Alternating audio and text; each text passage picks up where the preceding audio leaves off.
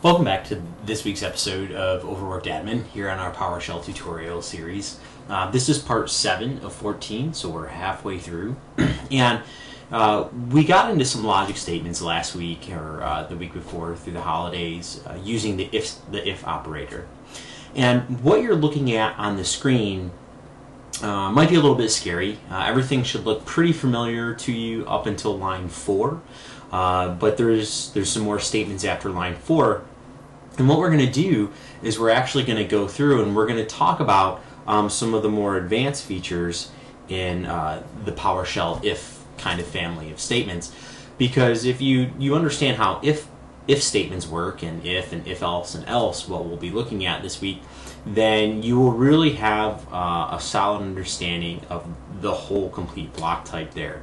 And this is one of the main conditional operators that you'll use when you're creating scripts or let's say you progress on and you're learning other programming languages. The, the if statement is a, is a constant through almost every single programming language. So understanding how to use it is pretty important.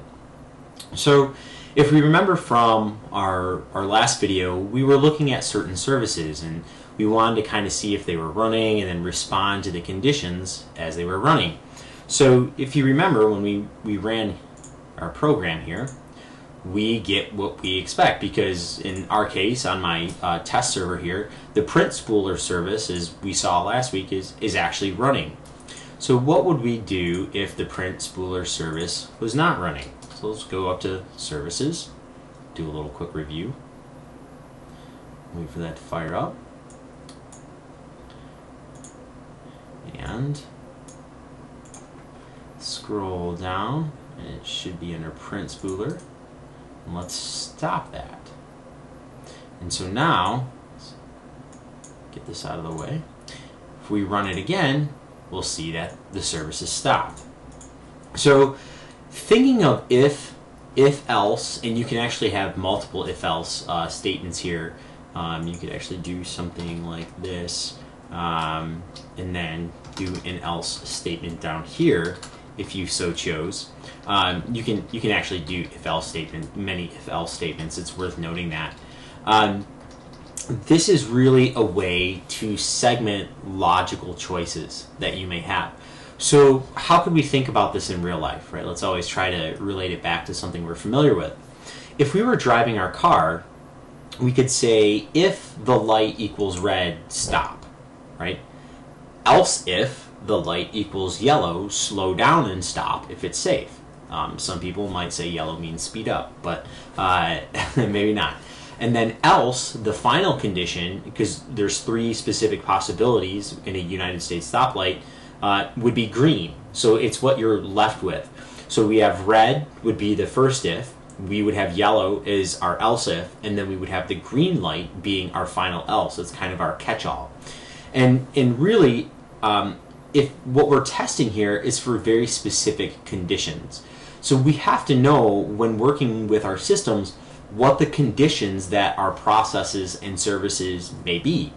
So in our particular case, we know that the print spooler can either be started or stopped. I mean, and those are, and there's like some in-between services. It could be starting or it could be stopping. Um, but I'm actually going to start this again.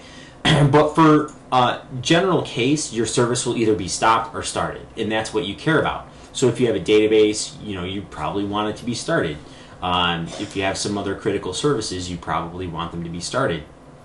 So what we want to do is we want to just kind of illustrate this this story here and kind of illustrate this point. So we know that the the spooler service is um, can have two possible states, really, just for the sake of argument. But now, what happens if we don't necessarily get that statement, or if we don't get that state like we we um, would expect? Well, the if if else and else statements kind of provide a, a sequencing that we can follow. So let's say um, we know that the print spooler right now is running, um, but let's change this to maybe running. And in you know if you understand services, maybe running is is not a viable option. So, so what do we have here?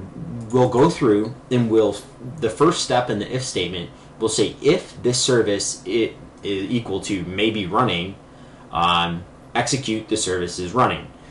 That's on line four here, right? You can see here on line four. Else if, right, this is kind of a secondary statement. If the service is equal to stopped, then print this out. But we just started this service, as we can see here. So we know it started, so we're probably not going to get that. And then this is our catch-all.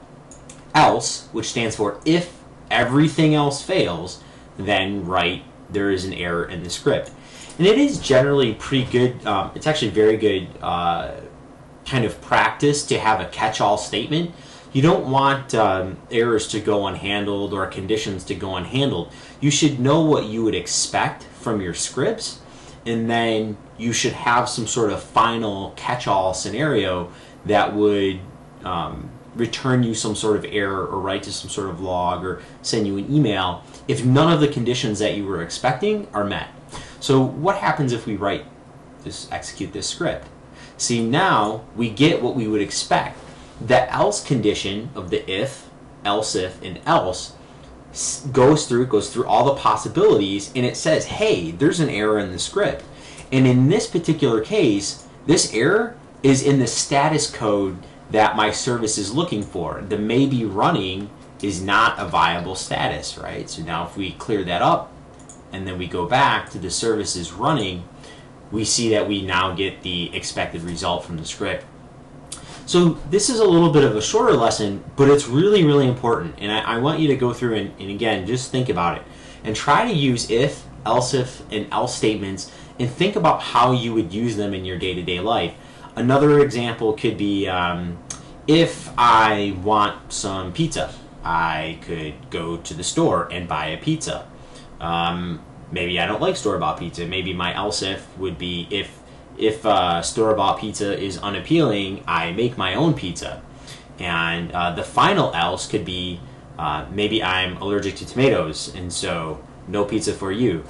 Uh, so this is just we use these types of programmatic um, logic statements every day in our lives, and so I think if you try to look at them that way, uh, it can be less intimidating when you're trying to write scripts and, and when you're trying to write programs.